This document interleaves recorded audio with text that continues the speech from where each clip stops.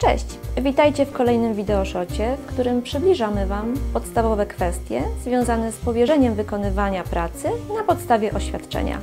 Dziś zajmiemy się kwestią odwołania. Pytanie brzmi: czy mogę odwołać się od decyzji Urzędu Pracy o odmowie wpisu oświadczenia do ewidencji? Jeśli Urząd Pracy odmówi Ci wpisania oświadczenia do ewidencji, możesz się odwołać. Masz na to 14 dni. Odwołanie złóż do ministra rodziny, pracy i polityki społecznej za pośrednictwem starosty, który wydał decyzję. Jeśli macie jeszcze jakieś pytania, a w szczególności te dotyczące oświadczenia, piszcie w komentarzach. Do zobaczenia!